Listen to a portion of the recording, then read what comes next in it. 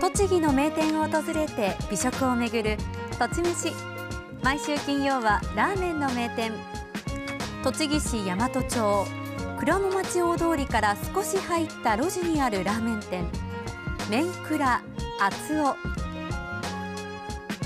落ち着いた和の雰囲気の店内でいただくのは鶏のうまみを閉じ込めた鶏チンタンスープで作った絶品のラーメン。また限定メニューの担々麺にはこんなこだわりが。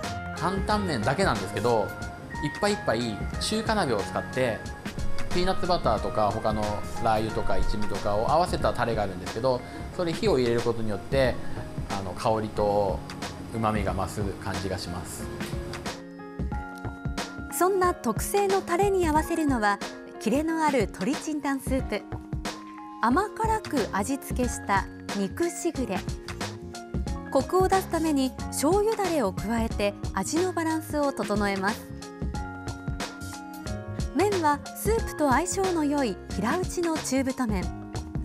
これを1分間茹でたらスープと一緒に煮込んで味をなじませていきます。しっかりと味が染み込んだところでいよいよ盛り付け。白髪ネギと刻みネギ。アクセントに糸唐辛子を盛り付けたら出来上がり。辛さの中にもうまみあり。店主自慢の一杯です。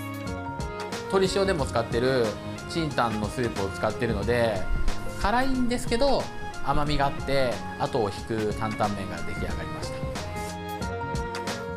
辛さうまみコクの三拍子が揃った絶品の担々麺。ぜひ召し上がってみてはいかがでしょうか。